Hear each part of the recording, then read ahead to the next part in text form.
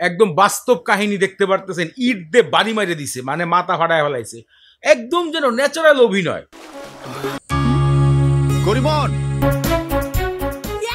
মানে এটাকে অভিনয় মনে হচ্ছে না বাস্তব মনে হচ্ছে। অনেকদিন পরে আমার একটা টিজারকে দেখে আমি পুরো মুগ্ধ হয়ে গেছি। মানে টিজার সম্পূর্ণ দেখেও আমি গল্পের কাহিনী আন্দাজ করতে পারতেছি না। এটা কি কোনো স্মৃতিশক্তি হারায় ফেলার কাহিনী? নাকি কোনো পাইলটের জীবন? আবার দরিদ্র জীবন মানে কি নাই এই টিজারের ভিতরে? দর্শক সাম্প্রতিক সময় মুক্তি পেয়েছে। পৃথিবীতে জন্মেছে নতুন এক শিশু।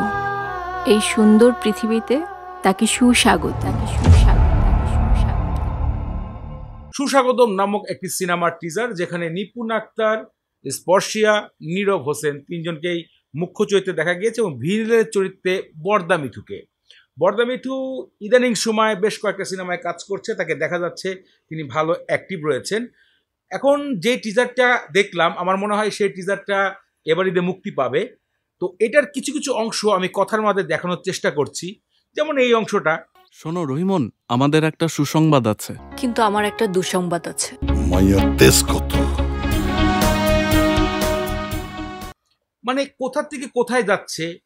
একবার দেখাচ্ছে পাইলটের জীবন একবার দেখাচ্ছে দরিদ্র জীবন একবার দেখাচ্ছে ভালোবাসার জীবন। মানে কারোর বাপের ক্ষমতা নাই যে এই টিজার দেখে গল্পের কাহিনী আন্দাজ করার মতন। মানে কোথার কার কোথাকার গল্প কোথায় যায় লাগতেছে অসাধারণ একটা টিজার দেখলাম। আসলে আমার ভাষা হারায় ফেলছি দুই হাজার চব্বিশ সালেও যে এরকম টিজার মানুষ বানাইতে পারে এটাই অনেক বড় কিছু। তুমি? তুমি একটা নাছর বান্দা। মেয়ে পটাতে ওস্তাদ।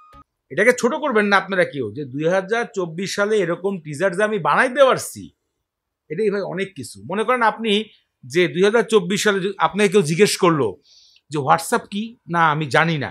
এটাই কিন্তু অনেক বড় বিষয় এটাই একটা সাকসেস অনেকে বলে না যে সোশ্যাল মিডিয়াতে দূরে থাকো। আমার মনে হয় এই সিনেমাটা এমনভাবে তৈরি করা হয়েছে তারা ডিজিটাল দুনিয়ার থেকে দূরে চলে গেছে বর্তমান সমাজ থেকে দূরে দূরে চলে গেছে। দেখো একটা লোক আকাশ থেকে পড়ল। হ্যাঁ তাই তো তাই তো। মানে তাদের আইডিয়াই নেই দুই হাজার চব্বিশ সালে কি সিনেমার টিজার দিতে হবে।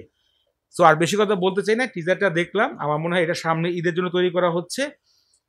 এটার মতামত আপনারাই দিবেন ডেসক্রিপশনে আমি পুরো লিঙ্ক দিয়ে রাখতেছি, ওই লিঙ্কে গিয়ে পুরো টিজারটা দেখতে পারবেন। দেখে আমাকে মতামত দিবেন আসলে কি ছিল এটা। আমি তোর